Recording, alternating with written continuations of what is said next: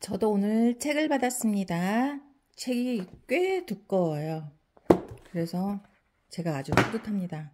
이 책을 구입하신 분들은 이제 공부할 게 아주 많다는 얘기예요. 이렇게 요번에는 찬송가와 관련된 많은 연습곡을 제가 수록했습니다. 음, 보면은 페이지마다 악보가 꽉꽉 차 있는 게 저는 너무 뿌듯합니다. 이렇게 짧게 한 페이지씩 공부하시기 아주 좋게 다양하게 제가 넣었습니다. 많은 분들이 찾고 계시는 페달 연습 또 제가 더 많이 추가를 했고요.